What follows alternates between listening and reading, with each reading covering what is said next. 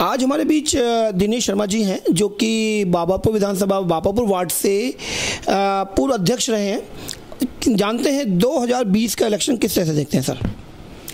2020 के इलेक्शन में बीजेपी पूरे बहुमत से दिल्ली में आ रही है और उसके दो कारण मुख्य हैं।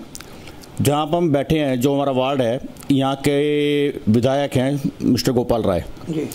और दिल्ली के अंदर जो सात मंत्री बनते हैं उनमें से एक मंत्री गोपाल राय भी हैं और मंत्री की सीट को वीआईपी सीट बोला जाता है।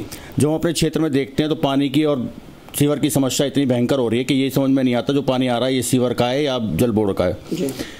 और दूसरे दिल्ली में जो पिछली बार इलेक्शन हुए थे, लास्ट टाइम पे जिसमें केजरीवाल जी 67 लेके आए थे, उस टाइम पर एक बहुत बड़ी दिल्ली की स्थिति ये थी कि कांग्रेस बिल्कुल साफ़ हो गई थी। कांग्रेस का वोट बैंक ज़ीरो हो गया था।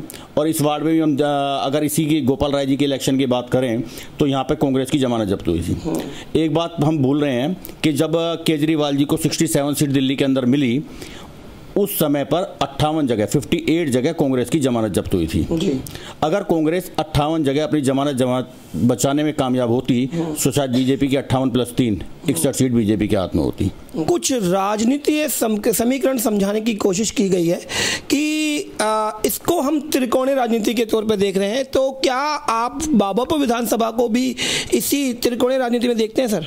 हाँ मैं वही बता रहा हूँ आपको कि अब की यार कांग्रेस इलेक्शन लड़ रही है। पिछली बार कांग्रेस खड़ी नहीं हो पाई थी और यहाँ से भी कांग्रेस की जाकिर खान की जमानत जब्त हुई थी। लेकिन कांग्रेस अब की यार इलेक्शन लड़ रही है जिसका हमें फ़ायदा बिल्कुल निश्चित रूप से होने वाला है।